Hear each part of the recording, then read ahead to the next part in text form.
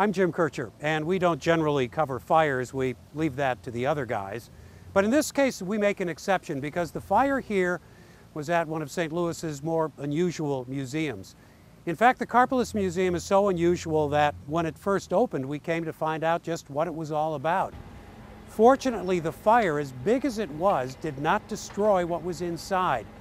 That's important because as Ruthie Ezell found out when we came here, a lot of that stuff could never have been replaced. The sign's been installed, the walls have been repaired and painted, and the packages opened and unpacked. The newest Karpeles Manuscript Library Museum in a chain of such institutions across the country opened its doors in St. Louis in August of 2015. And while a manuscript museum might not have you jumping out of your chair, this one holds some pretty interesting remnants of history, including St. Louis history. Housed in the historic former Christian Science Church on Russell Boulevard across from Compton Hill Reservoir Park, the museum joins a dozen other Karpeles museums in mid sized U.S. cities, including Buffalo, New York, Jacksonville, Florida, Shreveport, Louisiana, and Alvin, Texas.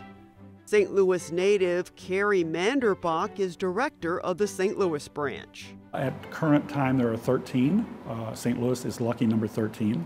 The items displayed at the museums are from the private collection of mathematician turned real estate investor David Karpeles, founder and CEO of the museums. The 80 year old native Californian holds a doctorate in history, but ironically, this lover of ancient ephemera began his career in the high tech computer world. He's reputed to have developed the first uh, optical uh, text recognition software. A family trip in the 1970s spurred him to begin collecting at auction and from other collectors. He and his family were uh, on a cultural outing, and they ended up at a museum that had some manuscripts, including some by Benjamin Franklin. And at first, his children were a little bored by some of it. And then his son uh, happened to notice that uh, Benjamin Franklin's writing uh, sort of uh, mimicked his own handwriting. And he said, Dad, uh, look, my handwriting looks like Benjamin Franklin's. And so his son sort of got a connection through that uh, to this historical figure. And it made Dr. Karpeles think uh, about collecting manuscripts himself. Since then, Karpeles has amassed the world's largest private holding of important original documents and manuscripts, with more than 1 million items. He has things like the first page of the draft of the Confederate Constitution. He has Babe Ruth's first contract with the Yankees. He has the draft of Abraham Lincoln's Emancipation Proclamation, and of course the Wright brothers. Local history is well represented in the collection, including the St. Louis Athletic Association's application to baseball's National League Charles Lindbergh's certificate of landing following his transatlantic flight in the spirit of St. Louis, and the Great Soulard Discovery Map, a copy of which was used by Lewis and Clark on their expedition west. The first museum opened back in the 1980s, and that opened in uh, Santa Barbara, California. And then from that point, uh, Dr. Karpeles bought other uh, unused buildings, and he renovated these buildings, and uh, he created a space where he could display uh, the manuscripts he was collecting. The museum system allows the manuscripts to circulate throughout the country. And all those things get rotated in from other museums, and we rotate them back out uh, at the end of every quarter. Dr. Karpeles has such an amazing uh, collection of, of manuscripts that we can go for years without having to repeat the same thing twice.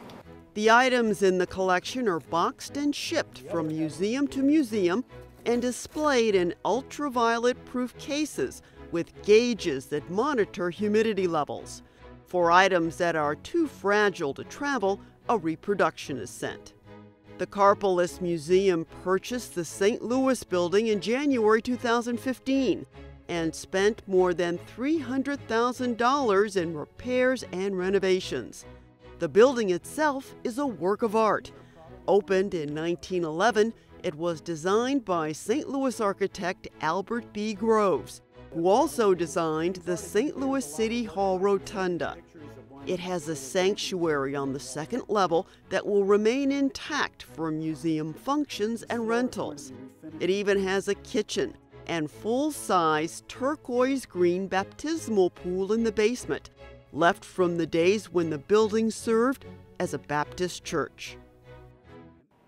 A curator said to them, Well, while you're here, why don't you go visit the library? Jean Wasco was one of the museum's first volunteers.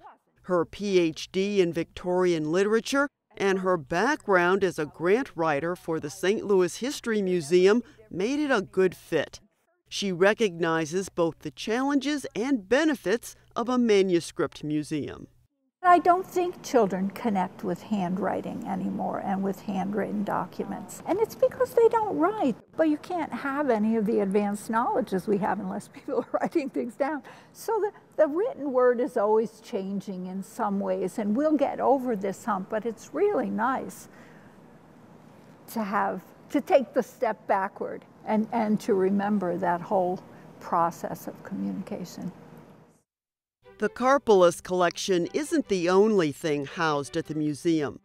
A small room off its main exhibition space hosts the St. Louis Media Archives.